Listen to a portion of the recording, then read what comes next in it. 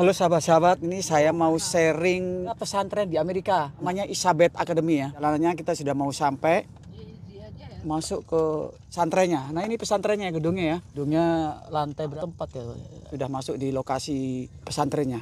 Assalamualaikum warahmatullahi wabarakatuh. Saat ini saya berada di Bristol ya, 40 menit dari kota Philadelphia. Di belakang saya ini adalah pesantren namanya Isabeth Academy. Gedungnya itu 1, 2, 3, 4, 5 sama basement ya. Pesantren ini adalah khusus untuk laki-laki dan perempuannya ada di kurang lebih 10 menit dari sini. Yuk, langsung aja kita mau melihat situasi kondisi pesantrennya. Saya mau masuk area pesantrennya ini di sini ada gedung utamanya ini ya. Namanya itu terdiri ada gedung satu dan gedung dua sebelah sana itu ya. Semuanya adalah asramanya untuk laki-laki ya. Langsung ini ada situasi kondisi uh, pesantrennya ya. Nah ini seperti ini, wow, masya Allah, ini udaranya sangat dingin banget ya. Oke. Saya langsung masuk, uh, dalamnya ada masjidnya ya. Oke, saya masuk dulu pesantrennya. Ya. Assalamualaikum. Hey, where is my wife here? Oh, iya. Halo Mi, Ani Jeddah. Eh, kamar mandi di sini nih, nih sebentar nih. Kamar mandi, nah, nah itu kamar mandinya tuh. Kalau nggak salah lagi, oh restroom. Coba tanya deh, eh, itu restroom lagi nih, sini sini. Restroom lagi nih, Mi, Mi, situ. Oh ini laki, laki juga. Masuknya dari belakang. Iya. Nah tampak di. Assalamualaikum. Nah, ini. Are you guys gonna eat first or? Oh, Mi, eat first atau gimana? You still have like Di almost. sana kelas-kelasnya. Wow, ini seperti kelasnya, seperti ini. Wow. Eh, kelasnya. Assalamualaikum. Ini buat naruh barang-barangnya, sepatu-sepatunya. Oke. Ah, ya. Oke, assalamualaikum. Halo, assalamualaikum. Eh, eh. alhamdulillah. Oh. Assalamualaikum. Ah, wow. Hmm, sebentar. Nah ini suasana dalamnya. Assalamualaikum betul. Alhamdulillah. Alhamdulillah. Halo good good alhamdulillah. Alhamdulillah. Haikal ber Haikal. Oh family. Oke oke oke thank you. Oh the family. Oh makan keluarga di sini ya. Sebentar dulu. Ya, where is my wife? I, I, see that. Oh, okay, I saw you. Oh Allah. Oke. Thank you. Wow.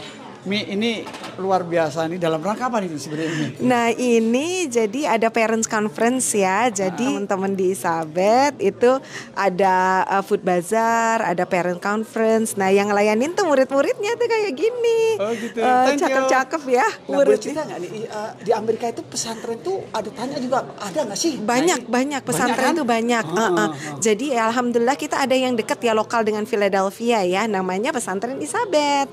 Gitu. Jadi ini sekolah Turki ya. State lain juga banyak. Ada yang di uh, New York, ada yang di Florida macam-macam. Jadi uh, di Texas juga ada beberapa pesantren, di Florida juga ada beberapa pesantren, di New York banyak, di Washington State ya uh, ada imam besar kita juga di sana Ustadz Joban, ada pesantrennya juga dan ada Islamic Centernya juga. Nah di atas tuh ada masjidnya dan di sini juga pesantrennya ada SMP dan tingkat SMA. Dan ini contoh menunya nih eh, untuk eh, tuh lihat ini contoh makanannya. Nah ini contoh menunya. Tadi kita order tiga hal ya. Kita order chicken, kita order eh, Iskandar kebab dan kita order dumpling. Nah ini Haikal. Assalamualaikum. Waalaikumsalam sayang. Alhamdulillah hari ini Jeddah ulang tahun ke-70 Jed Haikal ah, ulang tahun ke-70 doain soleh Jeddah Oh ya Allah Nah adek Putra dipeluk adek putranya Nah jadi jadi kita tiap minggu jemput Mas Haikal dan hari ini spesial ya. Kita ada food festival alhamdulillah. Oh kebab, wow, ini makanan-makanan Turki luar biasa ya. Ini namanya Iskandar kebab ya. Jadi dagingnya ini di slice ya kan. Lalu dinya yang dibakarnya itu di rolling gitu kan. Lalu di bawahnya tuh ini ada rotinya nih. Yogurt dan ada cabenya dan ada tomatnya. Hmm. Haikal anak kami sedang jadi santri di Amerika. Haikal boleh tanya nggak? Haikal uh, udah berapa bulan kamu nyantri di sini Haikal? Dari September. September ya oke. Iya. Eh, apa sih yang santri di sini tuh kamu tuh eh, kegiatannya apa aja coba bisa ceritain nggak? Bangunnya paginya segala macam ya gimana? Kayak bangun, Bangun jam berapa? bangun eh, pas sholat subuh. Setelah subuh setelah itu? Pas sholat subuh kita em, kayak ada kayak 20 menit kayak dikir. Mm-mm, 20 Kayak menit zikir. iya. Habis itu kadang-kadang kita baca surat Yasin eh, setiap pagi. Setiap tapi pagi? itu kadang-kadang. Oke. Iya. Setelah itu? Jadi itu kan udah kayak udah pagian, udah sunrise, kayak udah ada sunrise ya kan. Kita eh, bersih bersihin kayak madrasahnya, kayak Hmm. Oh bersih bersih Iya. bersih kamar gitu sih maksudnya? bersih kamar. Setelah Kita itu? emang ada kayak row sendiri. Mm-mm. Nah, abis itu kayak itu kan tadi 30 menitan atau kayak nggak nggak lama-lama. Kita siap-siap untuk nanti breakfast. Breakfast. makan pagi ya? Makan pagi, eh, siap-siap untuk kayak kelas, untuk kayak online online kelas. Online kelas. Iya. Itu sampai siang. Hmm, itu sampai ya sampai duhur. Zuhur, sholat dulu juga gimana? Sholat, sholat duhur. Biasanya sholat duhur, terus kita ada break, Mm, break. break. Kita bilangnya long break. Mm, Makan itu makan siang atau apa? Bukan, bukan. Eh, iya kayaknya makan siang, ma- makan siang dulu deh. Oh, makan siang dulu. Iya. Setelah itu setelah itu apa lagi? Abis itu break. Break. Break bisa apa aja, bisa main, bisa keluar, bisa main bola. Kita biasanya main bola. Mm-mm. Terus itu bisa time kalau misalnya nggak nggak selesai sekolahnya bisa kerjain wak- waktu itu Kegiatan selesai aktivitas pesantren ini sampai jam berapa? malam Sampai malam ya? Sampai malam baru is- tidur. tidur. Terus eh, ngaji dulu atau sholat maghrib dulu atau gimana? Asar. Kan bukannya abis maghrib masih ada pengajian lagi? Iya. Habis asar mas eh, kan religious class ya kan? Religious, religious class sampai maghrib. Habis maghrib langsung lagi religious class. Terus pas udah selesai kita kayak santai siap-siap untuk tidur. Religious classnya biasanya Haikal ngapain? Kayak satu kelas itu ngaji, kayak belajar buku eh, tentang eh, Prophet Muhammad. Ada berapa orang Haikal? Oh, Di jadi ada 9 Haikal ada berapa orang? Jadi ada level untuk uh, different kelas, different level ya kan. Uh, yang level satu itu yang paling gampang sampai level 3 yang, yang udah kayak up- Intermediate. Iya, intermediate. Iya, aku bilang kayak gitu. Iya, kayak Jadi gitu. kalau Haikal kalau sekolah biasanya sekolahnya online-nya kalau kayak kita sekolah yang sesuai dengan kurikulum Pennsylvania itu Haikal kan kelas 9. Tapi kalau sekolah Islamnya Haikal eh, si level dasar gitu. Biasa, iya. Hmm, oke oke oke. Jadinya walaupun ada mungkin anak yang kelas 7 tapi level eh, kelas agamanya udah di atas Haikal ada. Bisa, bisa sampai kayak gitu. Oh, Iya, that's Iya. really good ya. Iya, Jadi iya. uh, bisa fleksibel gitu ya. Iya. Siapa yang masuk pesantren duluan, yang punya dasar agama atau dasar baca Quran yang jauh lebih advance itu Iya. bisa di atas Haikal walaupun dia Iya. umurnya lebih muda daripada Iya, Haikal. bisa kayak gitu. Oh, that's nice. Iya. Ya, Umi baru tahu, masya Allah, hebat ya, alhamdulillah. Oh di pesantren ini kan pasti eh, Haikal tuh kan nginep ya eh, selama di sini ya. Itu kira-kira biayanya berapa? Biar teman-teman kalau pasti akan anda tanya kan. Iya, jadi biayanya itu sekitar eh, 700 dolaran ya. Itu udah termasuk semuanya, udah termasuk sekolah, nginep, makan online dari sekolah online-nya ya yang eh, kurikulum Pennsylvania itu dari Pennsylvania udah dapat buku, komputer, Komputer gra- komputer gratis. komputer, printer, printer, oh, monitor, dikasih. semuanya dikasih gratis Wow. dari sekolah online-nya. Hmm. Nah, tapi untuk sekolah agamanya itu semuanya udah dapat tempat tinggal, makan, eh, itu sekitar 700 per bulan alhamdulillah. Wow alhamdulillah. Mm-mm. Dan kalau ada adiknya yang masuk atau kakaknya yang masuk itu dapat diskon 25% ya, apa 20% gitu saya juga lupa. Eh, dumpling. Somai, somai. Sholat marib dulu ya. Ini di lantainya sampai empat ya. Nah saya ini di ruangan masjidnya. Saya akan ke masjidnya dulu.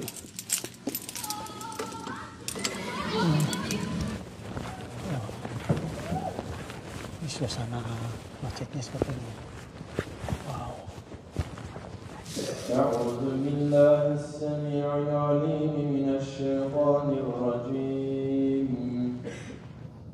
أعوذ بالله من الشيطان السلام المؤمن المهيمن العزيز الجبار المتكبر Alhamdulillah. Setelah sholat maghrib selesai, kami akan ada acara meeting, paren meeting. Meeting paren, ruangannya sangat luas sekali ya. Jadi, oh, oke oke oke. Oke. Ya. Kita mau meeting bersama guru-guru dan orang tua ya. This place, Alhamdulillah, with the help of Muslims in 2016. And in 2017, we had our first students here. And so this place, curriculum and resources, our curriculum, our books, come straight from Turkey, Istanbul. So we have committees and commissioners there that identify areas for improvement and take targeted action to boost skill levels in each subject. I'm going to get our uh, mixed martial arts teacher. What was his name? Shamsi, right? Or their science is very bad. So once we see that, we try to improve that. Help our students excel beyond their peers, setting them apart from the average student. They need, but you cannot force them to take action uh, or make the most of it. Okay. It is an endless pit. Like you might say, oh, it, it looks like it can be finished very quick. It is an endless pit. You can never know enough in this. Level two and level three, second and third year here at Isawat Academy, they have uh, what the other year has as well. Because, for example, Quran recitation continues because you continue to recite. You continue to memorize dua rules and policies that you might have seen uh, when you were signing up. If you have not, I can send you a, a copy of that. Student break times, because it really interrupts their studies here. So if you if you don't want to go to Umrah, you can come to Hajj with us. Rochester, New York program. Yes. So my son is at ninth grade now, and he need to attend here for a year before he could go to Rochester, Turkey, uh, Rochester, New York. Yes. And then is it a year or is it two year program over there? Then coming back here, what is the? It's a two-year program, uh, but if they are able to finish in one year, and there are students, because not everybody's memorization skills are the same, so there are students that can finish in a year and then come back, uh, but it typically takes two years. Jaro kayak begini. Datang lagi makanannya nih. Wow, Turki emang the best nih. From the border. Oh, Wow, ini menunya keluar baru lagi. Thank you. So Wow. we're going to order waffle, large waffle. Nah, ini uh, ini Abang Yudi, Jeddah dan Mas Haikal. Ini sekolahnya di pesantren ya. Di sebelah kiri, sebelah kanan ini adalah kelas-kelasnya. Nah, meeting roomnya ya. Nah ini adalah sekolahnya kelas kelas Haikal ya. Ini kelas kamu Haikal ya? Iya. Ah, kelas Haikal. Nah ini ada komputer komputernya sini. Wow keren. Sama ini aku nulis Arabik. Oh ini seperti wah masih. Wow cakep Haikal. Jelek-jelek. Arifah gitu Arifah. Jelek sih. I feel like my old old like uh, Arabic writing is like way ya. nicer. Oke oke. Yeah. Oh itu Haikal, assalamualaikum.